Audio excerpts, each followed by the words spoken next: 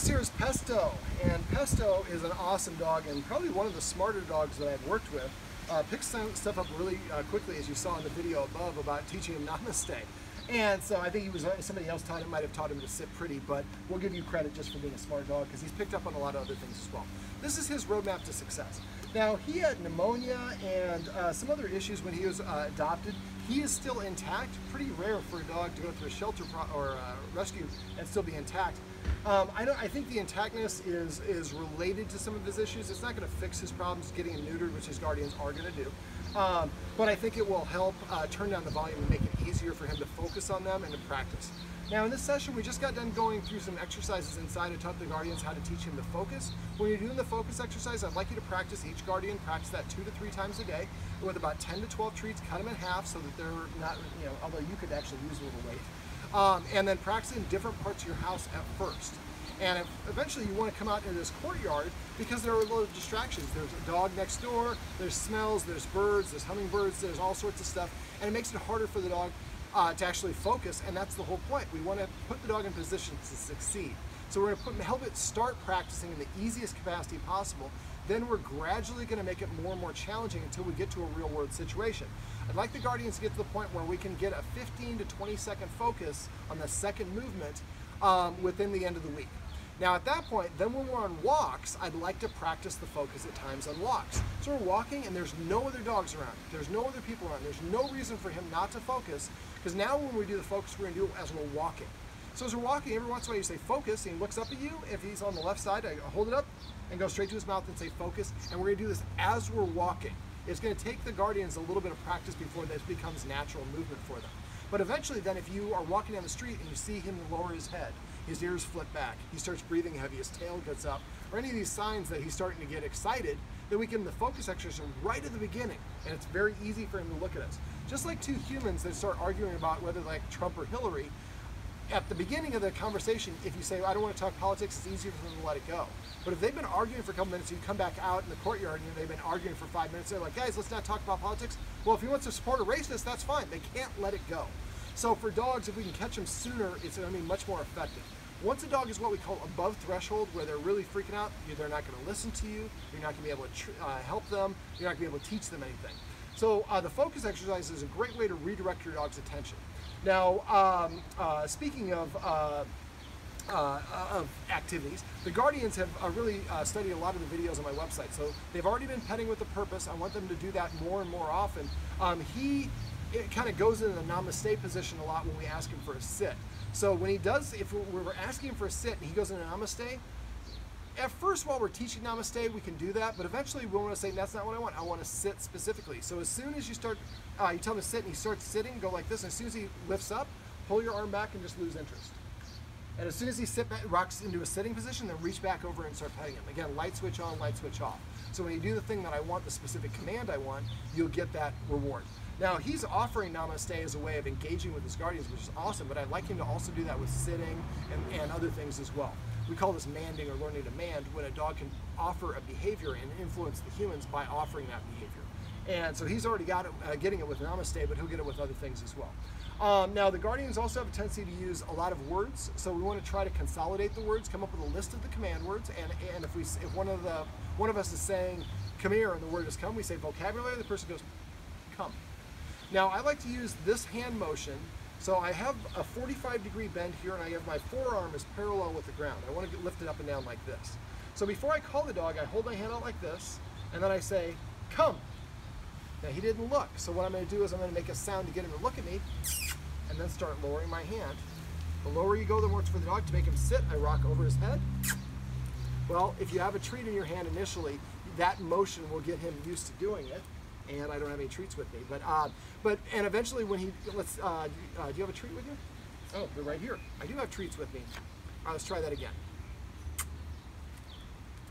So I rock over the head, and then as soon as he gets down, I lower it, let him lick it off my hand. After it goes in his mouth, I would say the word sit, and then tickle him under his chin. We're not always going to give him a treat. I'll show you from the side. It'll be a little bit easier from the side. Pasta or uh, Pesto. Pasta lives in Hollywood. Sit and then I do this tickle. So we're always going to do the tickle. We're not always going to give him a treat, but this way he always gets at least a little bit of reward, and also that helps him get his nose up in the air. Remember, a dog, when it feels good about itself, his nose is parallel to the ground or tilted up. Insecure dogs look down. So the guardian right now is trying to call him off camera. So hold your hand up, make a kissing, say come for, oh, there you go. That was easy. And then reward and say come. Come. So the guardians have a tendency, sometimes we say, oh, what a good boy, oh, what a good boy. But oh, what a good boy doesn't mean come. So when he comes, say come. When he sits, say sit. When he lays down, say crash or whatever the word is. He gives you a downward dog, say downward dog. Uh, or namaste or whatever it is. And that way we're making specific communications. A lot of times we look at it like the dog's doing something I like, but it's not the specific thing that I like. If I go to a restaurant and I ordered a hamburger and they bring me a steak, I like steak too. That's not what I ordered. So we want the dog to do what we want, not what it thinks we want. Um, and also by only using one word, it makes it easy, it consolidates, it makes it easier for the dog. Now, if he nudges us or wants attention, again, redirect him into doing something else. Sit, sit. So that's what I would do if he starts going namaste. Immediately stop, uh, disengage. And as soon as he goes back down, then start to re-engage. Providing affection or stopping providing affection with good timing is a huge part of how we communicate with dogs. Okay, um, let me see, what else did we go over? Um, uh, we went over some loose leash training, we, we did some BAT adjustment training with Ruby, um, and uh, come. So right there, that's passive training. He came on his own, I didn't ask him to, but I'm rewarding him because that's the end result that I'm looking for. The more you do that, the easier it's gonna be to get him to sit and do the rest of these things. Now, he does like to pull on the leash, and the Guardians have been using my technique of uh, stopping when the dog moves in front. So what I do is I have the dog in a loose leash, I, I assign a dog a left or right side, which the Guardians have done, and as soon as the dog moves in front of me, I stop and I let the dog go out. And as soon as it gets to the end of the leash and the leash gets tense, I make a kissing sound and I crouch down as soon as the dog looks at me, comes back to me, I give it a treat. Now, if I keep it on this side, a lot of times what I do is I hold the, the leashes in this hand. So I hold the treat and I lead the dog kind of into a circle. So then it comes and it turns around and now it's facing this direction. Then I put it in a sit. Then we continue going. Don't always have to do the sit. You can do the sit. Now, when we go for a walk, we have tendency to think of the duration or the destination or how long we're going for the walk. And if the dog pulls, we get frustrated because we're like, hey, I'm doing this for you, buddy. Why are you pulling? You're making it harder. That's frustrating for us and it's frustrating for the dog. So what I would recommend you do is, is take all that baggage away. Just go outside your house and practice walking from the, your house to two driveways down, turn around and walk for two drives down on the other side of the house. So basically, and just give yourself a duration. I'm gonna practice for 12 hmm. minutes. So we go out and we practice, and once we're done with 12 minutes, we come back inside. After a while, the dog's like, come. Uh, the dog's like, well, when we go for a walk, it doesn't always mean we're going to the park or to wherever we're going. Sometimes it just means we're practicing. And the idea is, eventually, as you're practicing this, when you the, when you're ready for the next step, when you just stop and the dog automatically stops, or you see the dog looking at you, but the step that it'll get to before that is when you stop and the dog gets the end of leash, it'll just turn around and automatically come back to you. So at first, as soon as it hits the end of leash, make a kissing sound when it looks crouched down. But after you've done this for about a week or so, then when he gets the end of leash, wait one second before you make the kiss. Give him an opportunity to turn around and come back on his own. But always have a treat, so when he does come back to you, he gets that treat and he'll start doing it more and more often. Like I said, he's a smart dog. Um, now, uh, we also showed how to use, uh, sometimes we, we're outside, we have to wait for the surroundings. So uh, we, I showed the Guardians how to create a, uh, uh, a, name for the dog beds, and I would give each dog bed its own unique name. Now, uh, when we feed him, he eats really fast, so we can do a couple things. If we're gonna be around with him, and the door is gonna be open and he's gonna be free, we can put, um, when you put his kibble in the bowl, you put hot water in the kibble, just enough so it's floating about an eighth of an inch, swirl it around and put it on top of the refrigerator or something. Wait an hour. When you go to get it, there will be no water. All the kernels will blow up like marshmallows in a, in a microwave. They've absorbed the water. Now for dogs, food, the temperature of food is more important than the taste. So then what I would do is I would put in like a pint of hot water. Not so hot where it's scalding, but very warm. Now the dog has to drink all that water before I can get to the level of the food, and then the food is the consistency of mashed potatoes. So I can't wolf it down as much. They have to lick it up. And it's you can't eat mashed potatoes as fast as you can eat other things. So after a while, the water slows down the process, and then the mushiness slows down, and all because we made it warmer, it's more appealing to him. So this way is a, it's just a nice way to get a dog to stop scarfing it down because it's not healthy for them. Mm -hmm. The other thing you can do is feed him in little portions or feed him out of your hand if you have a dog with this problem, but I'm guessing that'll take care of it. But don't do that if you're not going to be if he's not going to be able to be outside because dogs uh, digest fluids in about 45 minutes. So he will need to urinate in 45 minutes or an hour, it varies a little bit. So don't do it if you're going to be gone, he's going to be pent up, or you're going to have accidents in the house. Um, let me see. Uh, we went over the escalating consequences, how to disagree with unwanted behaviors. If you forget how to do any of those, let me know. Um, I also showed the guardians how to break things down in individual steps, like leaving the house um, or going to the door. The guardians want the dog to stay a certain feet distance away from the door and not necessarily always run through it. So what I would do is maybe, and you might want to temporarily put down some masking tape, create like a border, and then practice leaving the apartment. So we go to the door, and, and when, when, he, when he crosses the threshold, we go, we put our back to the door, we walk towards the dog using the third consequence. Once he gets to the behind the line, we stop, pause for a half a second, and then take two steps backwards. Boom, boom. And then pause for another quarter second. If he stays in place, you take another step back towards the door. You keep the authority pointed out the door. And if you take two steps back and you start coming forward, you hiss and march towards him. And so we're teaching him, when I go to the door, my job as a dog is to stay behind this boundary line. Get a namaste out of you. That's a dance. I want a namaste. Namaste. See, so we redirected him. The other dog was still barking, but he's still more focused on this. And this is the opportunity to use the focus. So if you have a dog that's passing you and you've got that 15 second focus, you can redirect his attention like this while the other dog is passing him. Once he gets the tree, he's like, all right, I'm ready to play with it. Oh, the dog's gone. So that's the whole point of this. Now, uh, the Guardian um, uh, likes to, uh, one of the Guardians works on the computer from home uh, for one of his jobs. And so sometimes uh, uh, Pesto comes up and he wants to play with him, he wants to engage, and the guardian was reaching over and petting him a little bit and then trying to go back to, to working, and the guard, dog was trying to engage with him. So we want to interpret that as when he does that is his way of saying, I've got too much energy.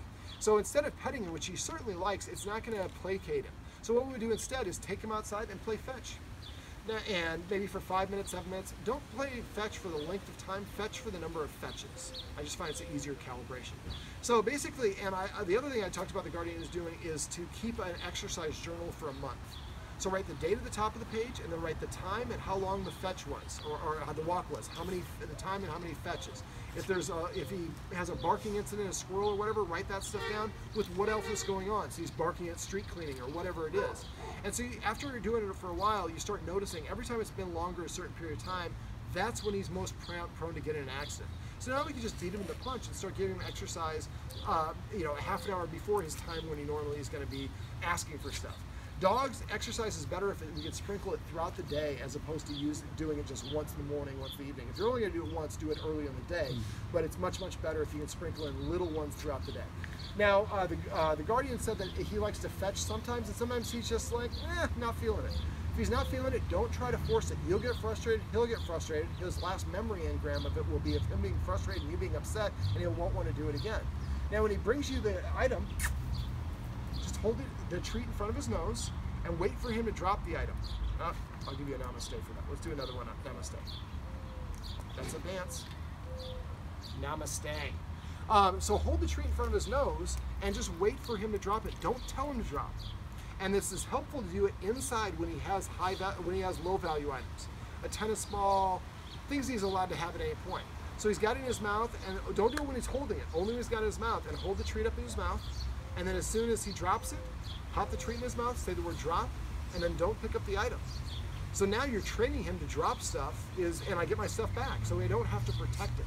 Then we're playing fetch, I say fetch three times when I throw it. As I throw it, I say the word fetch. When he picks it up out of his mouth, I say, or off the ground, I say fetch. And when he brings it over and I pop the treat in his mouth, I say fetch. But after a while, he'll come and start spitting the, treat, the deal in front of you. Mm. Now, I'm also a big proponent of, of delayed gratification and using that to help the dog develop more self-control. So if we're playing fetch and he's getting good and here he's coming and dropping it, now instead of just uh, dropping it, once he drops it, sit and then I pick it up and throw it. After and then it comes to start dropping and sitting, then we sit and we wait for two seconds before I throw it, then five seconds. So we gradually elongate this, so he has to wait longer and longer periods of time. He has to play the game on our rules. Reward, crash, or whatever the word is you want to use. I'd like the Guardians to get in the habit of using fun command words when they're teaching him new tricks. Um, dogs can read a human facial expression, so if you say crash, your dog flops down, and your friends laugh, that will make your dog feel more engaged with your guests. Um, also, because he's such a smart dog, I would like to see the Guardians uh, pick six, well, alternate for uh, three months. Now they're going on a little vacation, so maybe do this when you get back. So one week we have one Guardian who goes to YouTube. I'm going to teach him to roll over. And look for a video that teaches how to roll over, and to only use positive reinforcement. They're punishing the dog, use some different method. If you can't figure it out, let me know and I'll help you. Um, and then once the dog can do it, then tell the other guardian, and then all week long we practice rollover.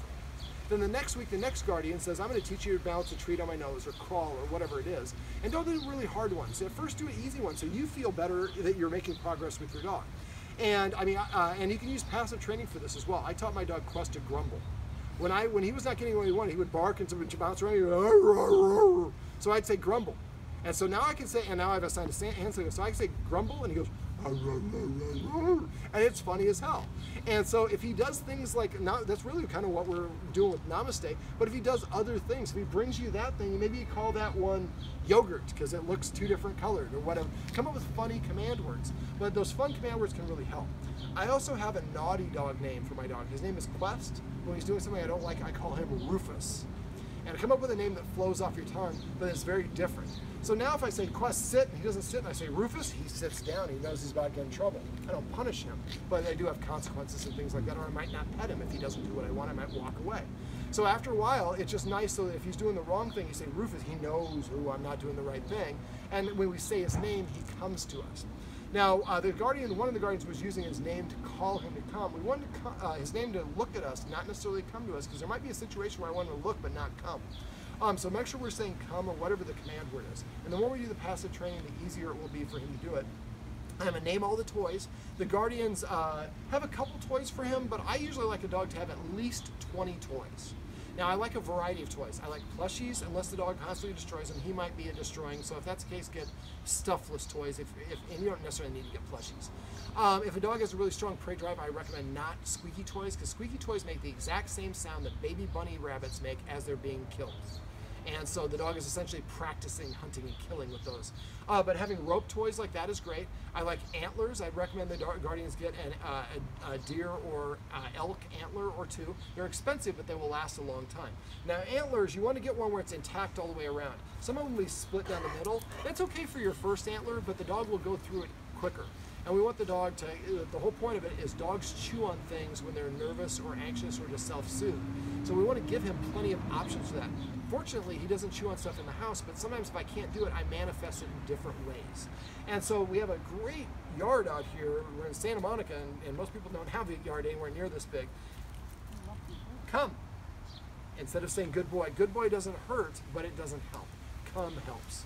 Um, so uh, uh, I lost my train of thought. What was I just saying? Antlers. Antlers. Uh, so um, having uh, oh for out here, get some sticks. If you're at the park and there's a nice long stick, if you get a stick about that long that's straight, he'll pick it up and run around and he'll feel really good about himself having a stick and then eventually chew it up into little bits, but that's something they do when they self-soothe. I also like getting dogs a Jolly Ball. A Jolly Ball come in different sizes. I would get one for him about the size of a volleyball. It's got a little V uh, triangle that sticks out of it. It allows the dog to pick it up and carry it around. Well, what all dogs do is chew the triangle off it. Then they chew little pieces of it off. I like my dog to have one toy they can destroy. Unless he's eating the plastic, allow him to do that. Just pick up the pieces. Um, also, we went over edibles, and this is California. We're not talking about uh, concentrates or stuff like that. We're talking about edibles for dogs. So kneecaps are great. Cow's ears are great.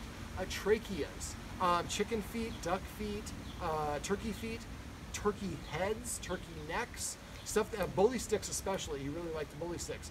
Now, if you get bully sticks, I like getting them from the Natural Dog Company. Natural Dog Company makes ointments for the nose. Um, you can get them cheaper, but they will be they will smell when your dog when you take them out of the bag, when your dog licks them, and when your dog farts them out. The Natural Dog Company has low or no odor, or they're odor free. They're a little bit more expensive, but your nose will thank you. Um, let me think. What else? Um, uh, when the Guardians feed him, I don't think I covered this. Uh, the Guardians are very, uh, very health conscious, um, and so I'm sure that they eat breakfast. But um, when dogs eat, they eat in the order of their rank. So if we're going to go grab some food at maybe Rose Cafe on our way to work, the dog doesn't, and we feed the dog, the dog doesn't see us eat. The dog's like, why should I listen to you? You don't even have eating privileges. So if we're gonna feed the dog and we're not gonna eat at that point, just get a piece of celery, a carrot, something that you can eat, preferably something crunchy. Eat it in five or more bites. Smoothies and coffees don't count. They don't understand liquids as a source of nourishment. So eat something in five or more bites, then give him permission to eat his food. Now the guardians already make him wait for permission to eat his food, which is awesome. Um, and, the, and delaying that a little bit longer can also be beneficial. But basically, the more that we help him see, because we're to feed him twice a day, so if every time before we feed him, we eat first, that's just natural way for him to see us a little bit more of an authority figure. Another dirty secret with dog behavior is to always outlast your dog and always follow through. If you're somewhere and you're out here and the dog's over there barking at the dog over there, and you say come once, and he doesn't come, come over to him, attach your leash, and bring him with you. Don't drag him and don't punish him or anything like that. The Guardians here wouldn't do that. Some people would, unfortunately. And just let him know, look, when I ask you to come, it's not optional. You're either going to do it voluntarily or I'm going to make it happen. Now, the more we do passive training in the house, every time he comes to us, we pet him and say, come, the more he's going to be inclined to do so for that. Um, now, when we are on walks, um, if he is reactive to another dog, he's not so much, he's not aggressive, he just really wants to play with other dogs and he spazzes out I think spooks the other dog. They don't know how to play with him. So the BAT training video above should help the guardians practice that, get a long lead if we need to, and just practice letting it out. Remember to practice your braking so we don't get the end of leash and have it jerk. That creates a negative association that can backfire. Santa Monica Airport is not too far away. Um, the other thing is practice the mime pulling. So if he's not coming, he's the end of the leash, just run your hand down the leash back and forth so you can feel, the, feel those vibrations. And as soon as he looks at you, crouch down and make a kissing sound so he comes over to you. All right, um, anything else I'm thinking I'm forgetting about? If I am forgetting anything, you guys can call me at any time. Please put my number in your phone and text me at uh, if you have any questions. I get so many phone calls and emails. Sometimes uh, emails will take me a couple days to get back. I get about 50 emails a day. I just can't keep track. As a client, I don't want you to have to wait, so please text me right away. Text me a picture of pasta the first time so I recognize your number. Pasta? Uh, uh, pesto, sorry, not pasta. He's in uh, Hollywood. Uh, and then once I get the picture the first time, then I'll be able to reference and I'll remember who he is. But after working thousands of dogs, I just can't keep all you guys separate. Um, all right, let's see if we can end this with Pesto coming. Come. Come over here, buddy. Come on. Up here. There we go. This is pesto, not pasta. Although pesto pasta is one of my favorites. And this is, sit. This is Pesto's roadmap to success. Remember, everything you do trains your dog. Only sometimes you mean it.